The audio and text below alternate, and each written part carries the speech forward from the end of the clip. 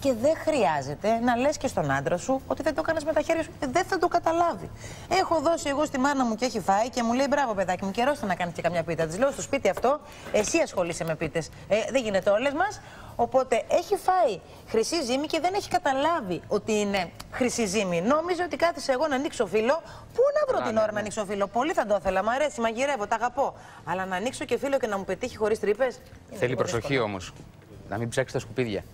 Ε, τώρα κι εσύ. Για φαντάσου να δεις το Κοίτα, θα σακουλάκι με και να πεις κατασκοπεύει ότι. Ε, μες ναι, στο τι. σπίτι. Μπορεί να ψάξεις τα Και σκουπίδια. πιο ωραία λύση, το λέω και πάντα αυτό, και το στο έκανα και παράπονο πέρσι γιατί δεν έβρισκα πολλές ποικιλίες στην άνδρο. Πιο ωραία λύση. Φεύγω Σαββατοκύριακο. Δεν μπορώ να πάω να κάνω τώρα 500 μαγειρέματα, θα κάνω δύο μεσημεριανά.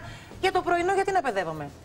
Φανταστική λύση. Τα βάζω στην τσάντα μου, στο μικρό το ψυγιάκι, τα παίρνω, τα έχω εκεί και το πρωί.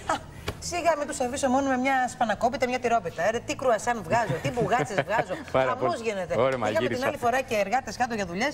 Μου λέει κυρία Ελένη, τι φτιάχνετε πρωί-πρωί; Ήρθατε, λέω, την νοικοκυρά είμαι. Ε, τι είπες, την νοικοκυρά πήρε; Από το πρωί Μυρίζουμε ανοίγω το χτήμα. φύλλα.